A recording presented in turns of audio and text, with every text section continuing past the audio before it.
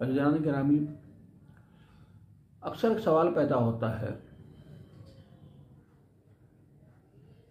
कि अगर अल्लाह ने हमको इज़्ज़त दी है दौलत से नवाजा है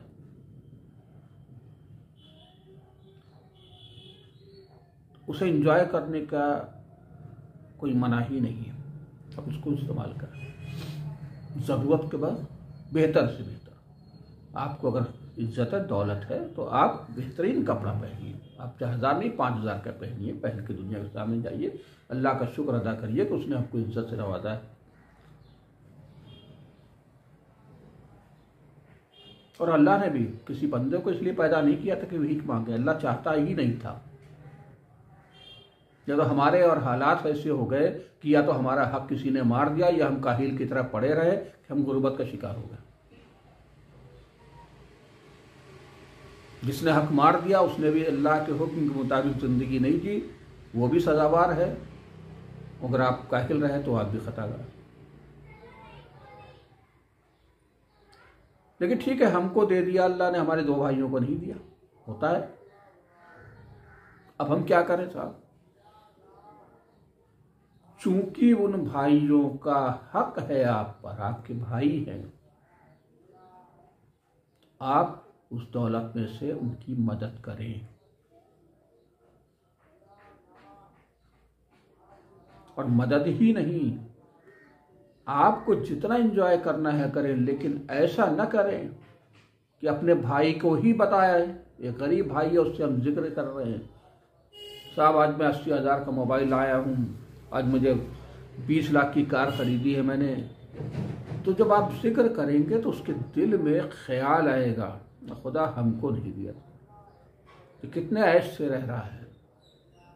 नहीं, ऐसा कोई काम ना करे कि उस गरीब के दिल में ख्याल आ जाए। आप कार खरीदें, इस्तेमाल करें, जाएँ, लेकिन उसका इस तरह से ज़िक्र न करें तो उसके दिल में तकलीफ़ पहुँचे।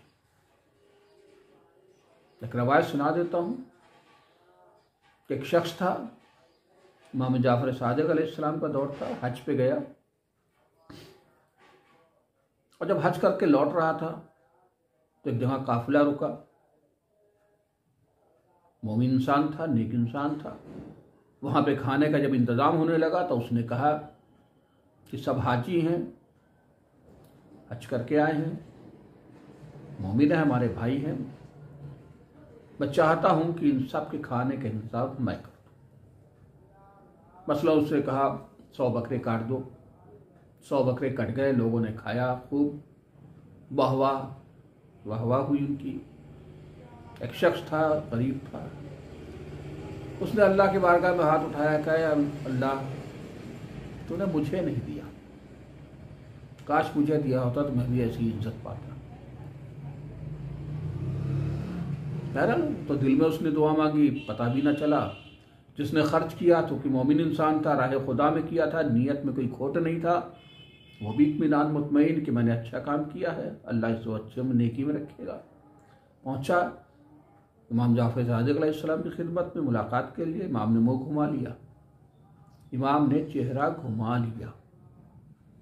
वो शख्स परेशान, सीधी लैंग्वेज के सदमे में, क्या मौला मुझसे ऐसी कौन सी ख़ता हो गई? मैं तो सब नेक काम करके आया हूँ, हज किया है खुलूस के साथ लोगों को खिलाया है, पिलाया है, ये क्या हो गया मुझसे? उस शख्स ने इमाम से पूछा है मौला, आप तो इल्म गैब रखने वाले हैं, आपको तो इल्म होगा। मैंने जो किया है सिर्फ़ और सिर्फ़ राह खुदा में किया है। फिर ये नाराज़गी के सबब क्या है? इमाम ने कहा शख्स मैं जानता हूँ। कि तेरे नीयत में कोई खोट नहीं है, तेरे तेरे तरीके में खोट थी। अब इमाम ने बताया कि जिस वक्त तूने खिलाया था, उस वक्त एक शख्स के दिल में ये तकलीफ़ पहुँची कि अल्लाह तूने मुझे नहीं दिया। मुझे भी देता तो ये इज़्ज़त मैं भी पाता। तो शेख ने कहा, इमाम, ये बताइए तो मैं क्या करता? न खिलाता। हम कहा नहीं, बिल्कुल खिलाना तेरा गलत नहीं था, खिलाया था और अल्लाह खुश हुआ। तेरे उस नीयत से अल्लाह खुश है। लेकिन बस सरासर तरीके में फ़र्क कर देता। बस तरीका ये करना था कि वहाँ ऐलान करा देता कि सौ बकरी की ज़रूरत है। हर आदमी अपनी अपनी स्टाफ के हिसाब से, अपनी सलाहियत के हिसाब से जितना उसको अल्लाह ने नवाजा है, वो इस डब्बे के अंदर, इस जगह पर वो पैसे रख दे। और मसलन तूने एक लाख रुपए के बकरे मंगाए थे, दस हज़ार दिरहम के बकरे मंगाए थे। तो चाहे सारे लोग मिलके एक ही दिरहम जमा कर पाते हैं। तो नौ हज़ार नौ सौ निन्यानवे दिरहम तू अकेले उसमें डालता और खिला देता। अब जब लोग खाते तो हर शख्स ये कहता, ये मेरी तरफ़ से है। और जब तारीफ़ होती तो कहा जाता कि कितने नेकुकार लोग थे कि सबने मिलजुल के इतने बेहतरीन खाने का इंतज़ाम किया। फिर किसी के दिल में यह ना आता कि अल्लाह तूने मुझे कम दिया है या मुझे ज़्यादा दिया है।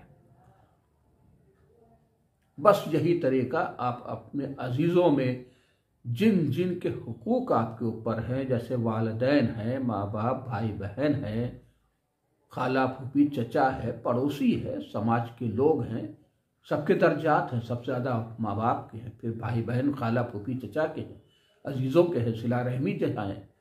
फिर उसके बाद पड़ोसी के फिर मोहल्ले के दर्जात है, चेन न तोड़िएगा कि सबसे पहले आपका पड़ोसी को खिला रहे, भाई भूखा है नहीं, ये गलती कभी ना करिएगा, चाहे भाई से आपकी जमती हो, चाहे न जमती हो। तो अल्लाह ने हर शख्स को इसी हिसाब से नवाजा भी है एक घर में चार बच्चे थे तो दो को दौलत दे दी तो दो को कम है। और अल्लाह चाहता ये था, ये दो मिल के दो दौलत जिसके पास कम गरीब है, उनको बराबर ले आए। बस अल्लाह इतना ही चाहता था। इसी पर जन्नत देनी थी अल्लाह को। यही आपका इम्तिहान था कि आपको इसी चीज़ पर जन्नत देनी है अल्लाह को। लेकिन हमने गरीब को गरीब करार दे दिया और अमीर को अमीर बना दिया। और अपने भाई के सामने जो गरीब है, शान बताते रहे कि हमने इतने का सूट लिया, इतने का कपड़ा लिया, इतने के कारें ली, इतने का ये लिया। और मेरा यह है मैं तो मुझसे तो काम नहीं होता। मैंने दस नौकर लगा के रखे हैं। वो बेचारा धूप में काम मजदूरी कर रहा है और आप दस नौकर लगाए हैं, उसका इजहार भी कर रहे हैं। तो इजहार ना करें, तकलीफ़ ना पहुँचाए। आपको करना है तो दौलत दी, आप करें। लेकिन दस नौकर की बजाय पाँच नौकर लगा के अगर पाँच नौकर के पैसे भाई को दे दें वो भी दो नौकर लगा ले तो क्या बुरी चीज़? यही तो इस्लाम चाहता था। इस्लाम में ऐसा कोई तस्वुर नहीं कि मैंने कमाया है तो मैं क्यों दूँ? नहीं, इस्लाम में ऐसा कोई तस्वुर नहीं। आपने कमाया है तो जन्नत तो आपको लेनी है, जन्नत लेनी है तो आप करेंगे। जितना दौलतमंद होंगे, उतनी ज़िम्मेदारी आपकी बढ़ जाएगी। जितने दौलत कम होगी, उतनी जिम्मेदारियाँ कम हो जाएगी। उसी तरह शादी ब्याह रिश्तेदारियों में होता है। जब लोग तोहफे देते हैं तो तोहफे आया करने की चीज़ है नहीं, लेकिन लोग शान में देते हैं। ऐसे में जो गरीब होता है, उसको शादी में जाना कितनी तकलीफ़ दे होता है। एक भाई है, उसने बीस हज़ार रुपए की चीज़ दे दी। दूसरा भाई पाँच सौ रुपए नहीं दे पा रहा है। उसे कितना जलील महसूस होता है। तो या तो दोनों भाई बराबर करके, एक दूसरे को बैलेंस करके, दोनों भाइयों की तरफ़ से एक जैसा ही दिलवाइए। अगर आपके अंदर है इतनी दम। नहीं तो जो गरीब भाई है, उसके बराबर ताकि उस गरीब के दिल में ये ना आए कि देखिए, मैं शादी में जाऊँ, मेरी तोहन हो रही, मेरी बेइज्जती हो रही। यही दीन इस्लाम है। इस्लाम ने बारीक चीज़ों के ऊपर भी आपको इशारा किया है कि कैसे जिए।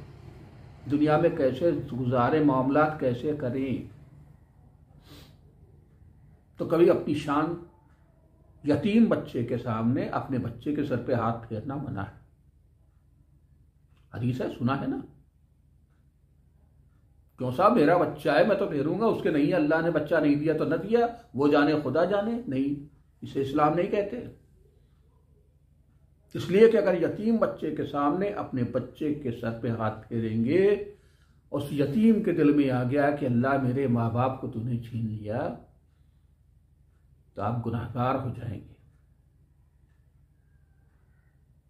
करिए अपने बच्चे को जितना प्यार करना है, अकेले किसी ने मना की लेकिन उस यतीम के सामने ना करिए। उसी तरह करिए जितना इंजॉय करना है आपको अपनी दौलत से, करिए। लेकिन उस गरीब भाई के सामने ना करिए गरीब चचा के सामने ना करिए, गरीब फोपी के सामने ना करिए। इस्लाम में इस चीज़ की ममानियत है। बस इसी के साथ एक फ़िक्र दिए, कोई ये नहीं है, आप इसकी तहकीक करें और उसके बाद से अपने मुश्तहिद से रबता कायम करें और बहरहाल जो हो, वो अमल करें। बहरहाल इतना तो आपको मैं भी कहूँगा। आम सी चीज़ है, एक जाहिल भी जानता है। किसी को तकलीफ़ न पहुँचाएँ किसी के चेहरे पे खुशी की वजह बने। इसी के साथ